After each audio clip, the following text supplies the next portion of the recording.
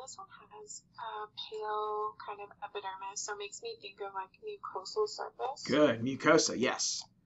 So let's say vulva. Okay. And then um, this one has pseudohyphae in the stratum corneum, um, some of which they're really hard to see, but they're running north to south. Yep, up and down, right? Kind of vertical. Good. Here's here's some right here. There's a there's a hypha or pseudo hypha. How do you know if it's a true hypha or a pseudo hypha? I don't know. There is no answer. I'll tell you the answer I use. If I want it to be candida, then I say, oh, it's a pseudo hyphae. There's pseudo hyphae there. If I want it to be something else, I say, oh, they're true hyphae. That's the honest truth. I do not think morphologically that the, the hyphal structure itself um, is different or that I can tell, oh, it's a pseudo pseudo hyphae rather than true hyphae. And I actually found out not long ago uh, from reading in the literature that you can actually Candida can actually produce true hyphae in addition to pseudo hyphae. Some mycologists will have to explain to me how you actually make that distinction, like what the technical definition is. But I feel like on light microscopy, I cannot recognize the difference between those. I can, however, think of some clues for candidiasis. One, like you said, is the hyphae tend, doesn't always work, but they tend to be vertical north and south. They dive down into the epidermis, whereas dermatophytes kind of surf along the waves, okay?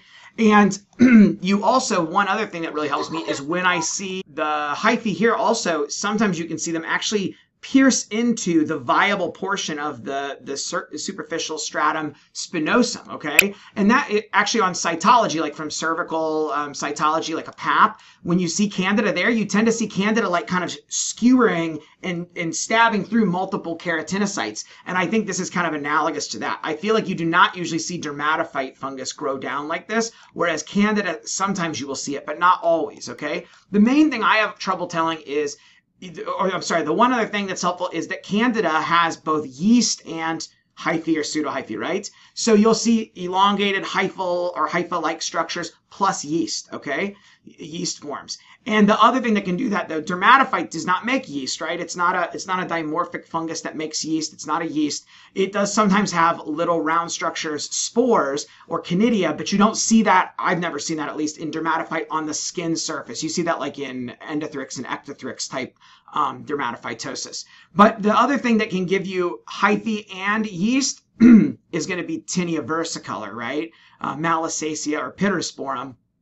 And the other clue I like for both both for Malassezia and Candida is they're usually bluish purple and easily visible on an H&E stain without even needing to do a fungal stain. Whereas I showed you earlier, dermatophytes usually, at least in, in the H&E preparations I've used in the labs I've worked in, they're usually clear.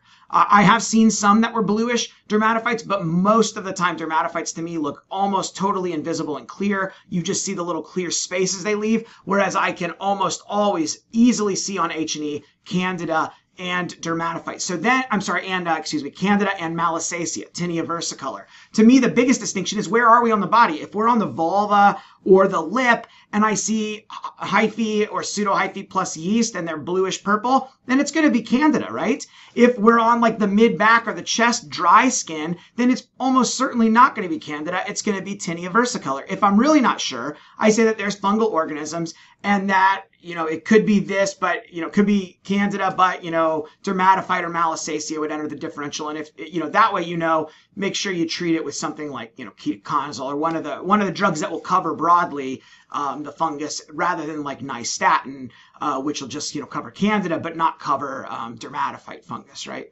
So if I have any doubt, I'll I'll just say there's superficial fungi, and then I'll tell you which one I favor. Um, but in any case, those are some clues and tips um, to telling those apart. And I do have one really nice example of beautiful vertical diving in Candida that I saw not too long ago. Look at that. There, this was a vulva, and you can see perfect north-south vertical purple fungal hyphae in the corneum, and look, some yeast also. So this is a really nice example of candidiasis. I, I'm very, very happy with that picture, I have to tell you. I've been looking for that good of an example for years, and I finally found one. All right.